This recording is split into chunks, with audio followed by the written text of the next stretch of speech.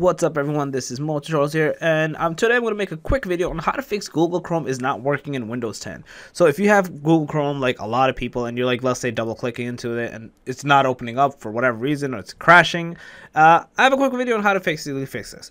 So what you're going to do is you're going to right click into this, click into properties, and then click into open file location. In here, you're basically going to get into the Chrome's actual file itself where all that good stuff is happening because where you're normally at is basically where it's like a shortcut per se. And you want to have the actual file itself. So you can either a copy and paste this here or you know change the name of this file which i've heard a lot of people actually say works. I've done it without that and it's fine. So you can technically just copy this and essentially you don't even need to copy. You can essentially right click into it and create a shortcut, which I'm trying to find is usually somewhere here. And you're basically going to create a shortcut of this, which is right here. And Windows, can I create a shortcut? Yep, that's fine.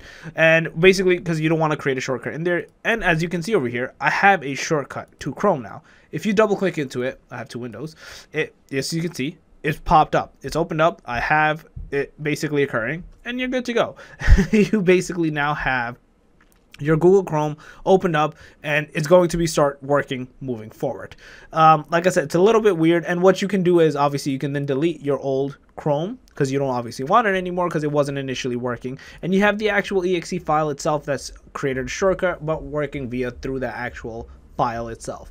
So yeah, that's basically it. If you guys overall have any comments, questions, concerns, just let me know in the comment section below. More than happy to help you guys out. If you guys overall like this video, please smash that like button, helps a lot. And if you guys are new to the channel, make sure to subscribe and click that notification bell. And that, Moe Tutorials out. Peace.